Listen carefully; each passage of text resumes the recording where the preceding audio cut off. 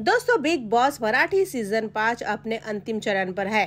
जी हाँ ऐसे में सभी लोग यह देखना चाहते हैं कि अब घर में क्या कुछ नया होने वाला है।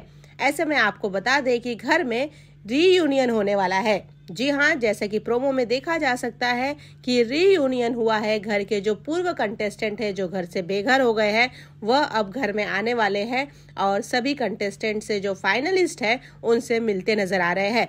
ऐसे में दौड़ते भागते अरबाज पटेल को घर में एंट्री लेते हुए देखा जा रहा है। जी हाँ अरबाज भी घर में आए हैं और उन्होंने निक्की को भागते हुए आए और वे निक्की को अपने गोदी में उठाकर घर के अंदर ले गए। और उसके बाद दोनों एक दूसरे से बात करते हुए नज़र आएँगे। एक तरफ़ जहाँ पुराने कंटेस्टेंट फाइनलिस्ट कंटेस्टेंट से मिल रहे हैं, वहीं अरबाज और निक्की एक बार फिर से घर में मिलते हुए नज़र आ रहे हैं। अरबाज आठवें वीक पर ही घर से बेघर हो गए थे और जब वे घर से बेघर हो रहे थे, तब निक्की खूब रोने लगी थी और काफ़ी इमोशनल हो गई थी।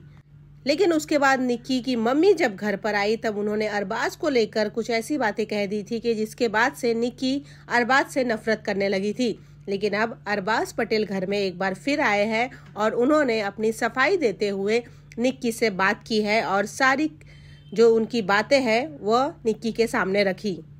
अब ये देखना काफ़ी दिलचस्प होगा कि अरबाज पटेल और निक्की तांबोली के बीच के जो रिश्ते थे, क्या हुआ पहले की तरह फिर से साफ़ हो जाएँगे या एक बार फिर से दोनों में दूरियाँ बनी रहेगी।